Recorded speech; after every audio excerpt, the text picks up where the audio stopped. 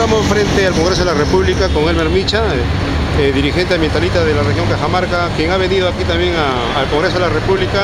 para ver el caso de Odebrecht, una empresa denunciada por acto de corrupción en el tema del abajato. Eh, Elmer, ¿por qué tu presencia aquí en Lima? Bueno, hemos traído una documentación por parte de, los pobladores de las riberas del río Marañón y hemos presentado justamente a la Comisión Lavajato, hemos presentado a la Defensoría del Pueblo, como también este, al Congreso y también este, al Ministerio de Energía y Minas, sobre el abuso que está haciendo la empresa Odebrecht llevando gente eh, supuestamente pagada, eh, con movilidades, para legitimar y avalar pues, el estudio de impacto ambiental allá en, las riberas del río Marañón,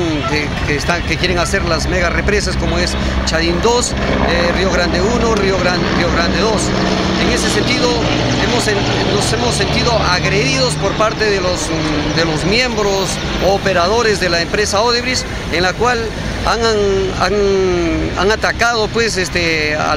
lo que tenemos nosotros nuestras leyes sobre precisamente eh, la ley de, transparencia pública,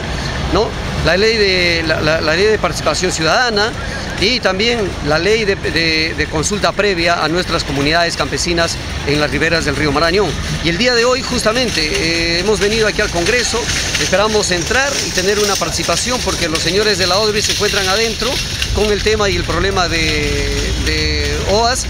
y eh, el tema de, de que están haciendo este, eh, grandes proyectos aquí en el, país. Y justamente se trata de las líneas amarillas donde a los pobladores les han tumbado las casas, los han derruido las casas y no tienen eh,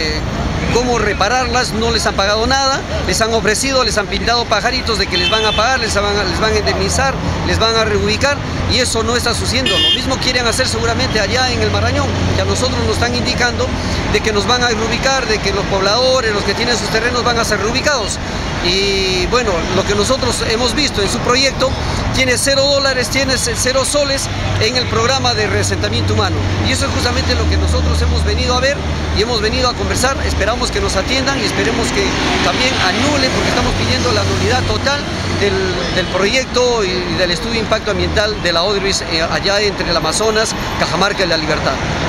Elmer, eh, dijiste que participaste en la última audiencia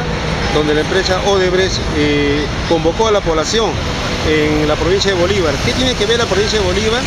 si el proyecto se pretende hacer en Amazonas y la región Cajamarca, en el Marañón?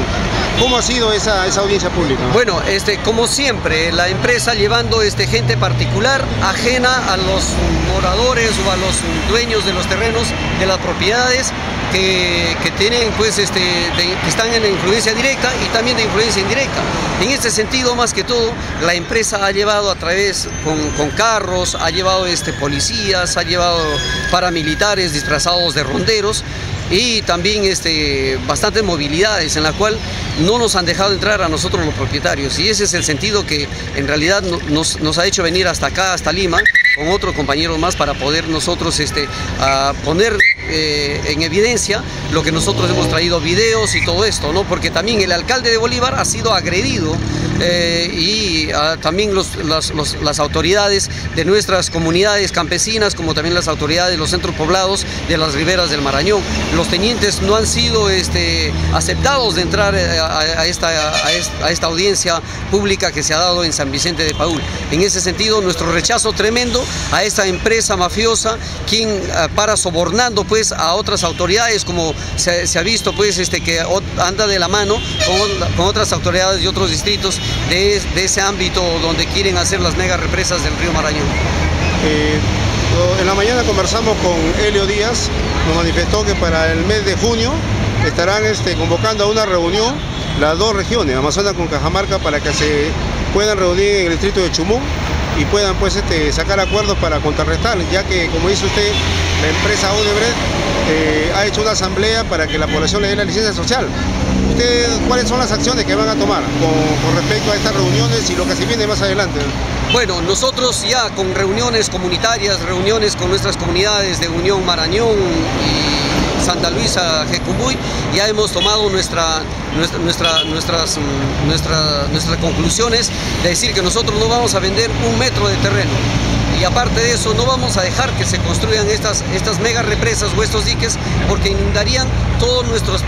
nuestras tierras mm, productivas. Entonces tampoco no nos están diciendo a dónde nos van a reubicar, ni con qué dinero, ni a qué costo nos van a reubicar. Entonces en ese sentido nosotros estamos poniéndonos firmes y a los señores que están